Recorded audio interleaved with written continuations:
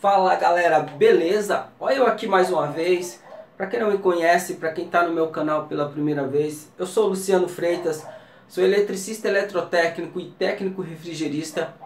E eu tô aqui no meu laboratório, galera, porque é, alguns dos seguidores aí do meu canal no último vídeo deixou algumas dúvidas que é meio complicado, meio complexo estar tá respondendo é, direto lá nos comentários. Então, é, eu achei por bem fazer um vídeo e aproveitar o ensejo para estar tá respondendo essas dúvidas técnicas aí de nossos seguidores, porque é, muitos têm perguntado, assim, Luciano, eu não entendo porque as fábricas têm tanta preocupação de não deixar o fluido refrigerante, o líquido, ir para a cabeça do compressor. No entanto, eles recomendam o 410A que seja é, dado carga de ponta cabeça pelo o estado líquido.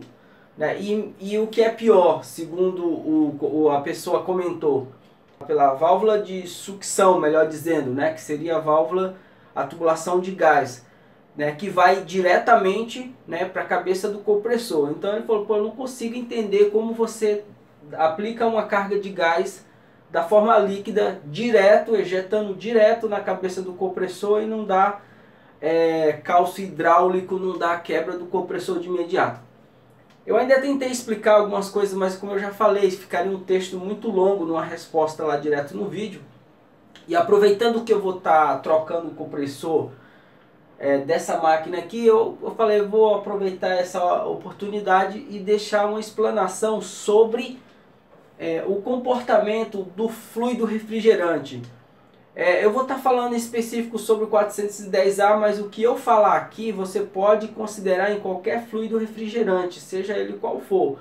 O R600, o, o R32. E já, já de início eu quero pedir para vocês, eu tenho percebido uma, uma quantidade de visualizações muito grande nos meus vídeos, mas pouco like.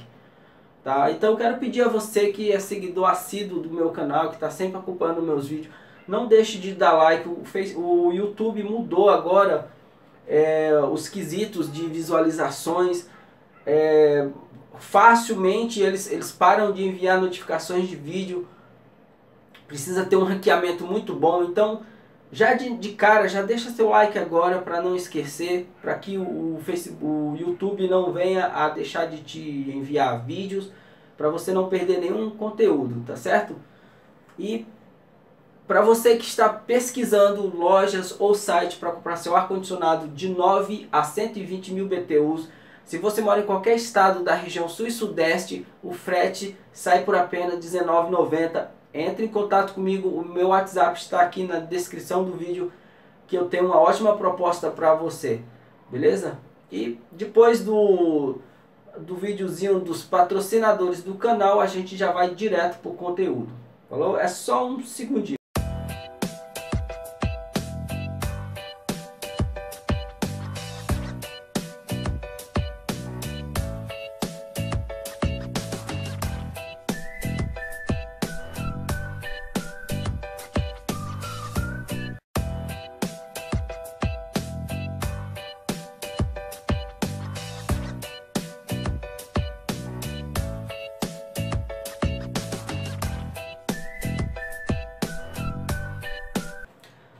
Galera, então é o seguinte, vamos tomar aqui, por exemplo...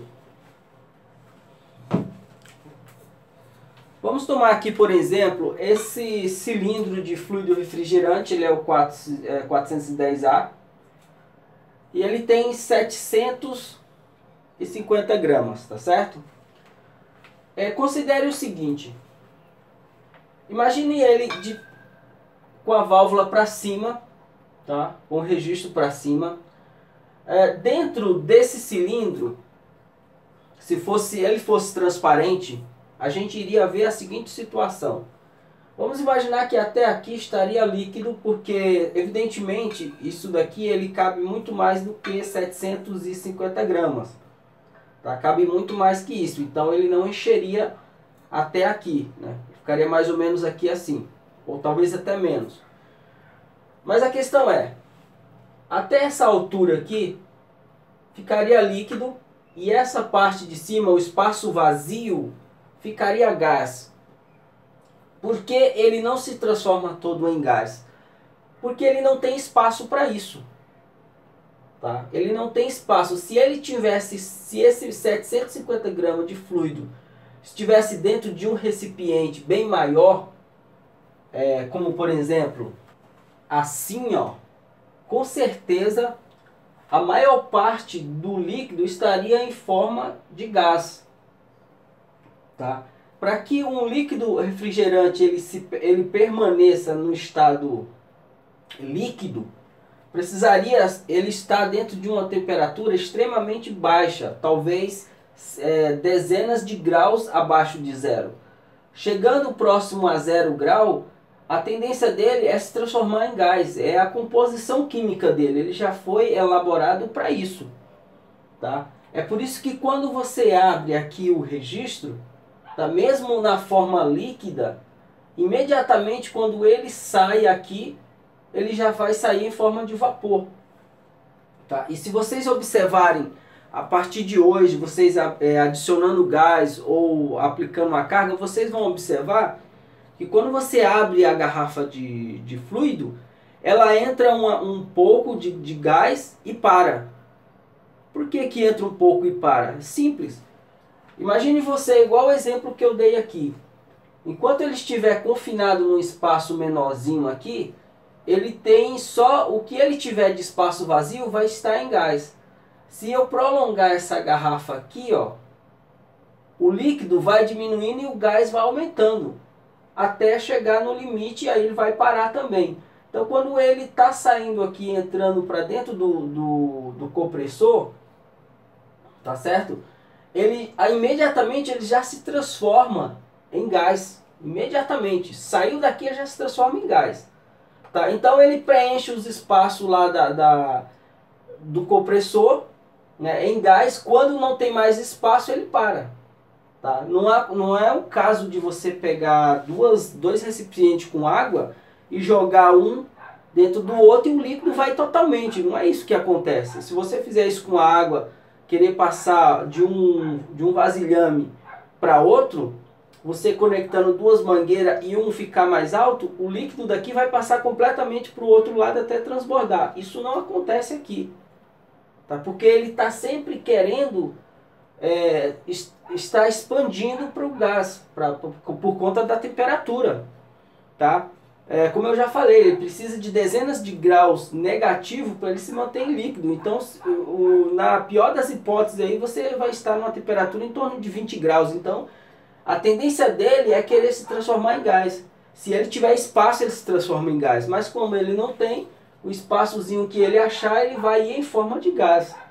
Tá? E mesmo que aconteça de uma parte desse, desse fluido passar para dentro do compressor é, em forma de líquido, do lado do compressor vocês têm é, um separador de, de, de fluido refrigerante, um acumulador de líquido, né, que é mais ou menos assim. Ó. Então, gente, ó, vamos entender isso aqui. O meu R410A de ponta cabeça, ele está no estado líquido, né, de um certo ponto para baixo, a parte vazia, o espaço vazio dentro da garrafa, está no estado gasoso. Mas quando você abre aqui,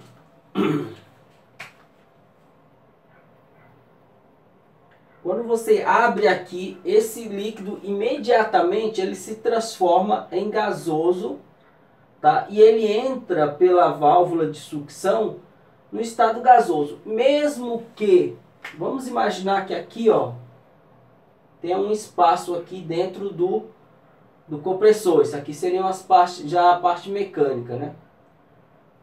Mesmo que uma parte desse fluido então, assim, quando ele entra aqui, ele já se transforma para gás imediatamente. Depois eu vou fazer aqui, ao vivo, aqui um, é, um teste, vocês vão comprovar isso.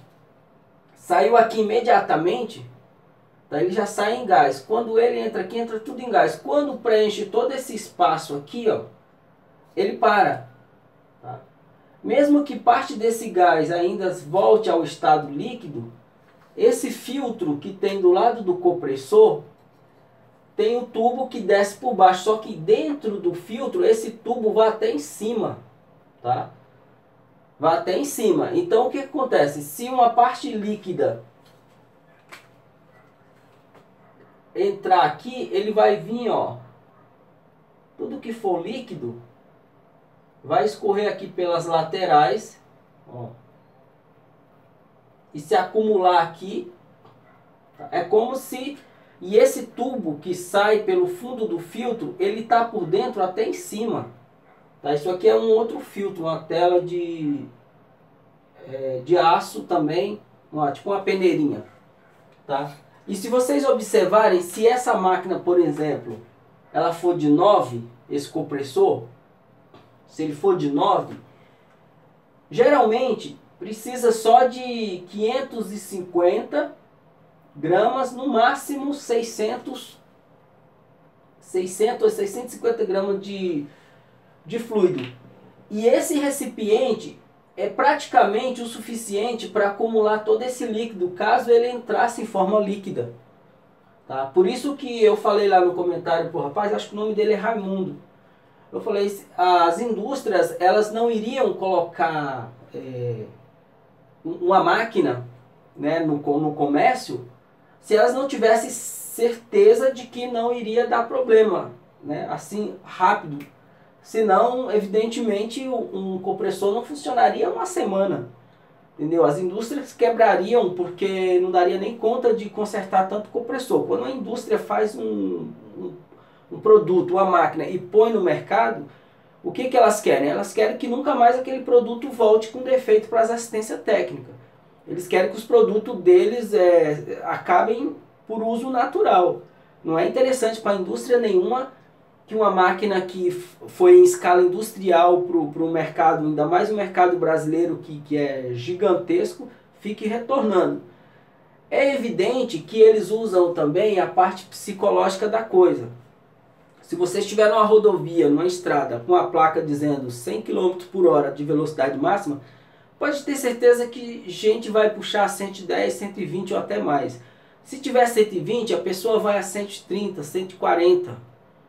Se tiver 60, geralmente você passa a 105, 70. Então, muito, por isso que eles, até por uma questão de resguardo, eles já colocam esse medo.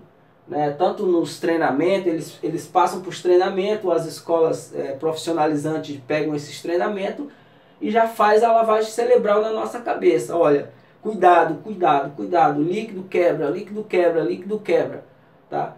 Para você tomar esse cuidado, porque realmente quebra. Mas também não é assim, de você já jogar e quebrar, senão os compressores não, demor, não durariam uma semana.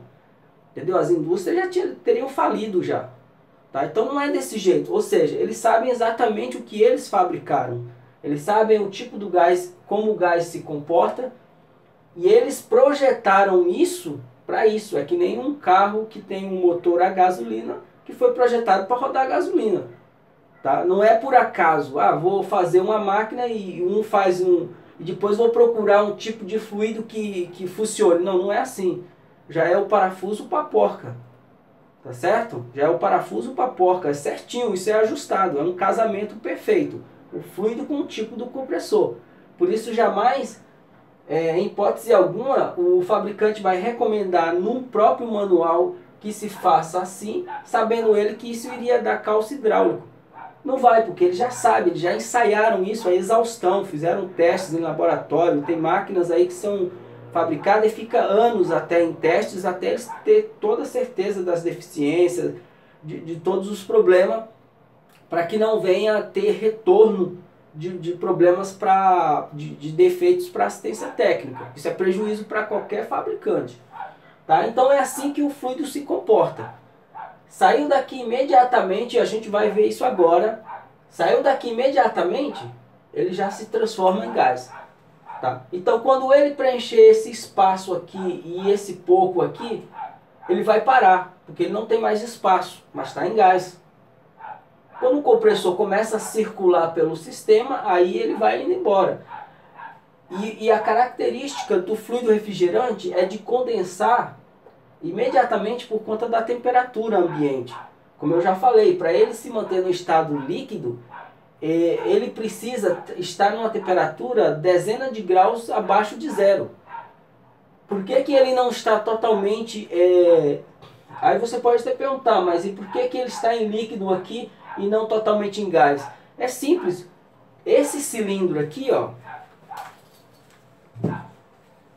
Esse cilindro, com essa quantidade de gás, ele não tem espaço para que ele se transforme em gás o, o, tamanho desse cilindro internamente para 750 gramas não dá ele espaço para ele se transformar em gás. Por isso que ele não se transforma, por isso que ele está confinado, ele está sob pressão. E isso daqui também, gente, é fabricado, tá? É fabricado considerando isso. Quem fabrica esse vasilhame sabe que o fluido refrigerante ele vai ir a uma certa pressão até certo ponto e a carcaça, o material já é fabricado com essa robustez para ele não romper. Você nunca ouviu falar em cilindro de, de fluido refrigerante que explodiu em situações normais. Né? Se o cara for aquecer com maçarico, é, evidentemente sair fora dos parâmetros do, do que o fabricante recomenda, né? aqui ó, Armazenar em local seco e não corrosivo, longe de fonte de calor, abaixo de 52 graus e ao, e ao abrigo de raios solares. Ou seja, o cara que fabricou esse vasilhame considerou que até 52 graus esse fluido não vai explodir o vasilhame. Tá? Ele vai ter, criar uma pressão, ele vai querer se transformar todo em vapor, mas até uma certa pressão que isso daqui aguenta. Se essa mesma quantidade, como eu já dei um exemplo, estiver dentro de um vasilhame grandão, né, tipo um tambor de 50 é, litros, certamente ele vai estar 100% em gás. Porque ele achou espaço para se transformar em gás. Vamos tomar outro exemplo aqui para a gente já respaldar essa questão. Vamos tomar um exemplo da água. É, pegue um litro de água, não é para fazer isso, tá? Isso é só uma analogia aqui, senão tu vai morrer. Pega um litro de água, coloca dentro de uma panela de pressão, de uma panela de 7 litros, tá? Você vai ver que a água ficou lá no fundo da panela, porque ela cabe 7 litros, só tem um litro. Agora, lacre essa panela, feche todas as válvulas e ponha para ferver, para ver se ela não explode.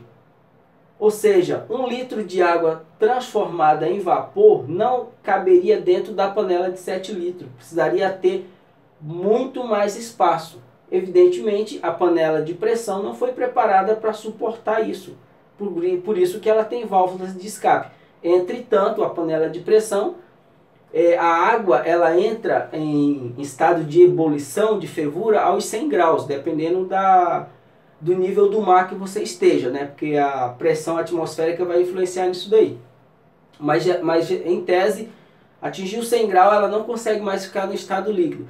Só que, falando de fluido refrigerante, em hipótese nenhuma, o fabricante vai considerar que isso daqui vai se submeter a 100 graus. Tá? Falando do cilindro. Porque alguém pode falar, pô Luciano, mas o compressor ele esquenta bem mais que isso. Sim, só que o compressor é outra história. O cara que projeta o compressor, ele projeta as paredes do compressor para suportar a pressão daquele gás em específico até determinada temperatura. Passou dessa temperatura, o que, que acontece? O compressor ele tem o que aqui? Ele tem um relé térmico. Por quê? O que, que esse relé térmico faz? Desliga a energia no caso de sobrecorrente ou se o compressor aquecer demais. Isso já é calculado também. Uma coisa é na hora que o cara está fabricando o vasilhame, ele sabe as condições, ele determina aqui as condições de armazenamento e de temperatura natural. Ele sabe muito bem a que pressão isso daqui pode chegar e não vai explodir. O compressor, o cara sabe exatamente, olha, vou colocar um relé térmico que ele vai desligar o compressor, por exemplo, quando ele atingir 100 graus.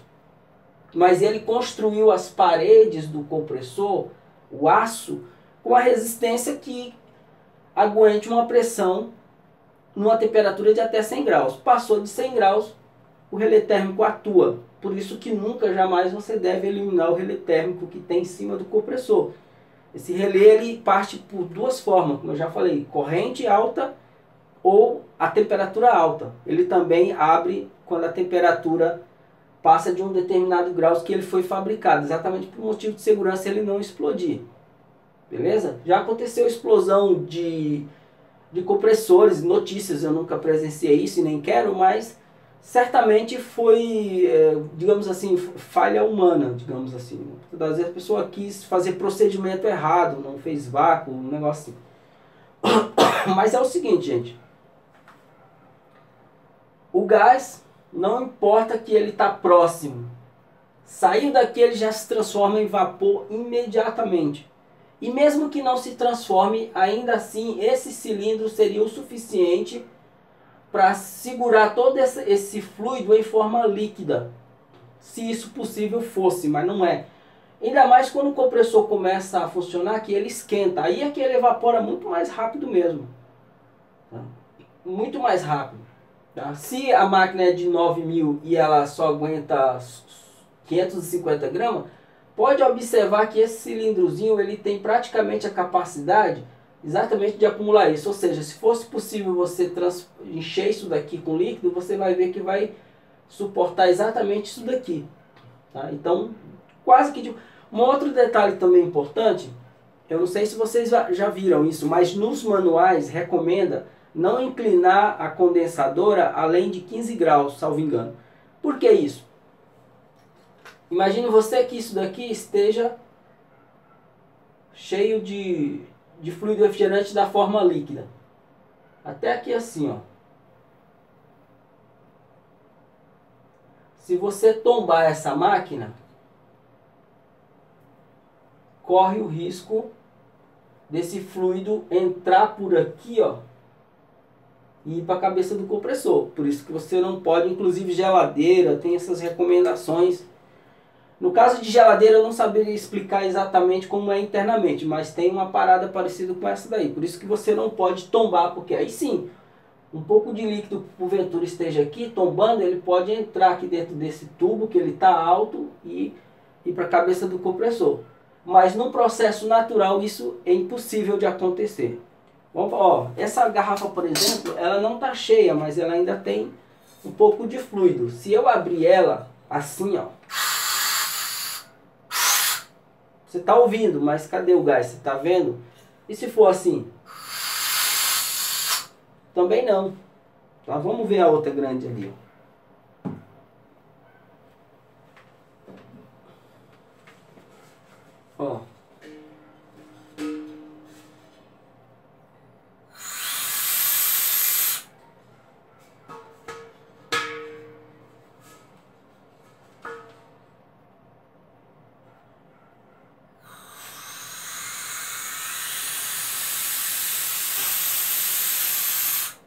Não importa se é de ponta cabeça, não importa se é de cabeça para cima, ou deitado ou de lado.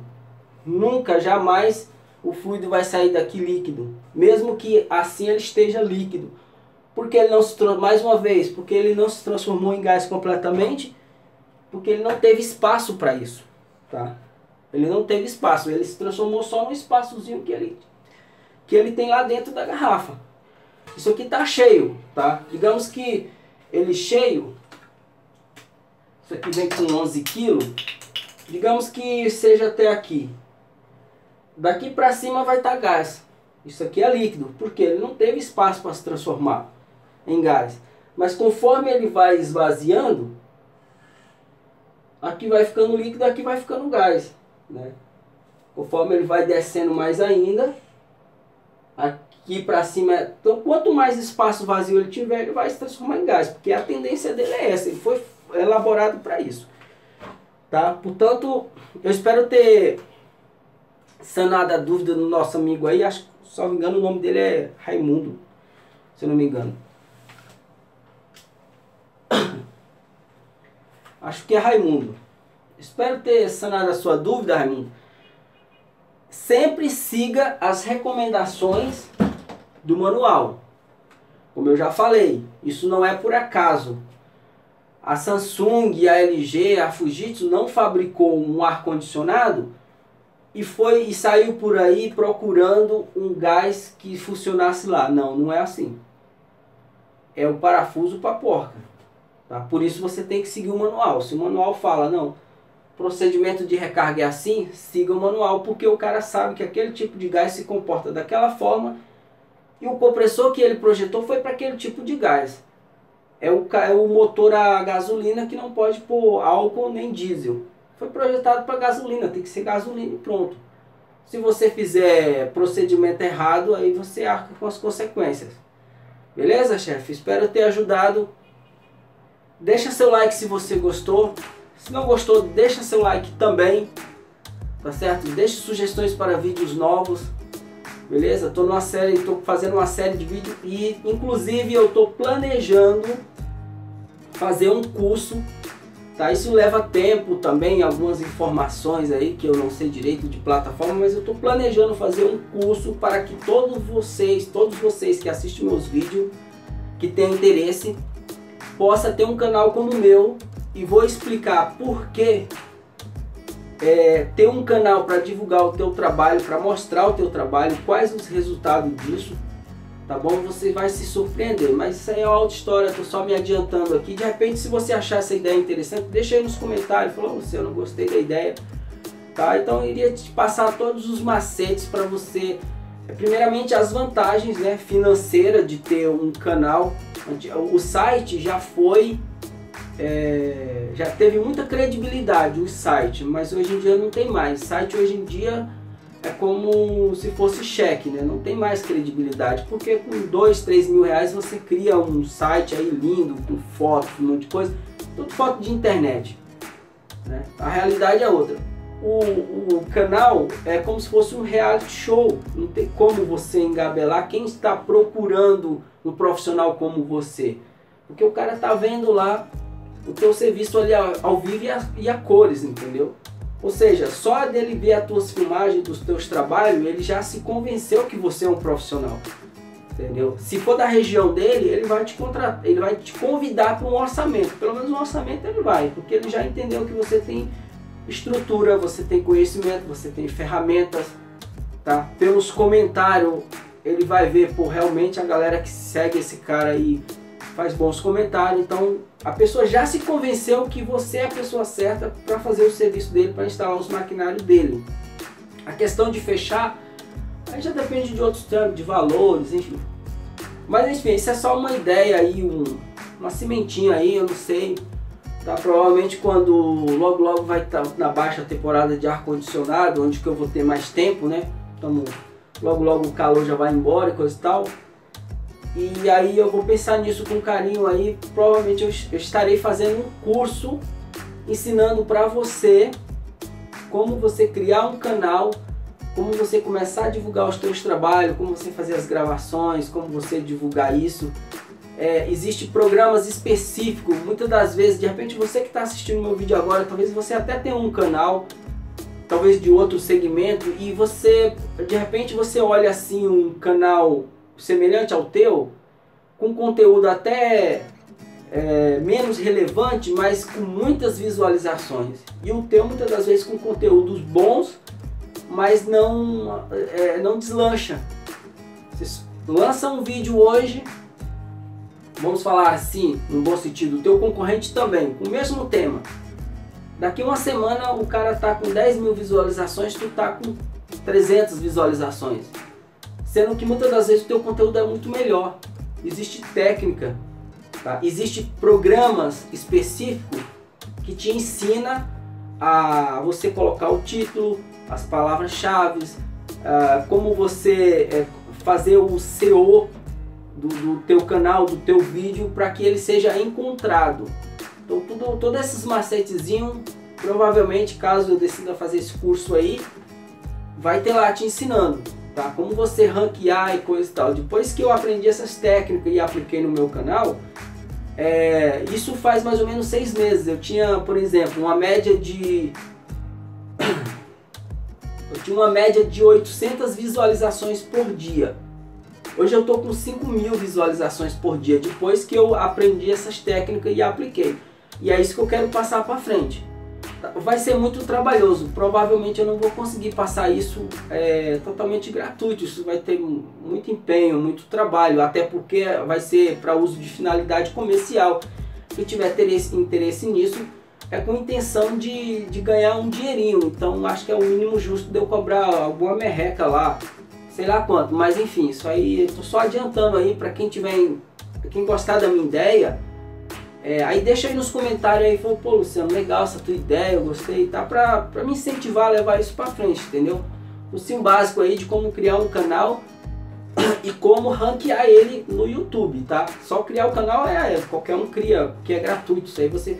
Ainda mais agora que o, o YouTube, ele só monetiza um canal quando ele completar 4 mil horas de, de vídeos visualizados e quando a pessoa tiver mil inscritos. Então ficou muito mais difícil o, você ranquear canal no YouTube agora.